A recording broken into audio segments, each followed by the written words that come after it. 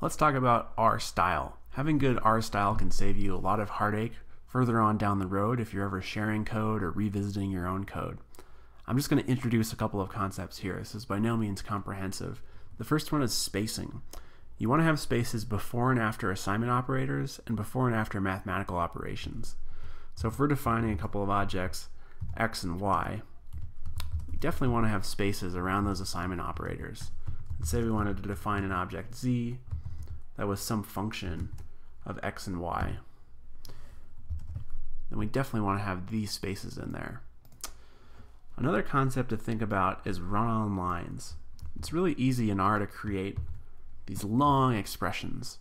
So you might remember this expression where we're extracting from the iris data frame the rows corresponding to this species, Setosa, and the columns corresponding to the sepal data. There's a lot going on here. So here's an expression where we're extracting one column from iris, subjecting that to a relational operator. This whole thing's going to return a logical vector. And then over here we're defining another vector for the column names. We can clean this up a bit if we put these operations on their own lines. So let's create an object called Setosa rows, where I'm just creating that logical vector. We can create another object where we're naming these columns. So these are columns corresponding to sepal data, so maybe I'll call them sepal calls. And then we can put those objects in as arguments to the extract function.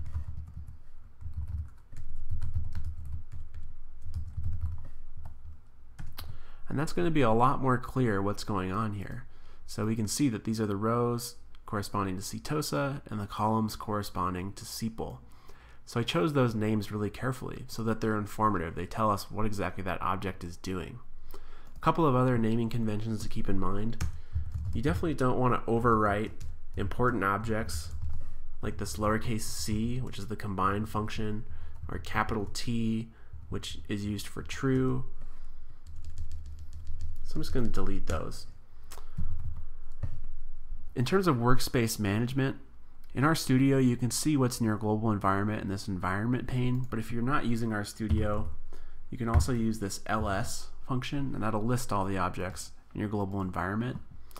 Say you do accidentally overwrite an important object, you can remove an object with the rm function.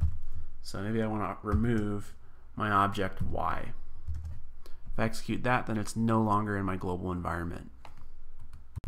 Now the last thing to mention here is commenting. So I've included some comments which are preceded by these pound signs and those won't really be executed. So if I did want to execute this whole thing, the comments don't really do much, but they can be really useful if you're revisiting your code and you need to remind yourself why you were doing something or what exactly you were doing.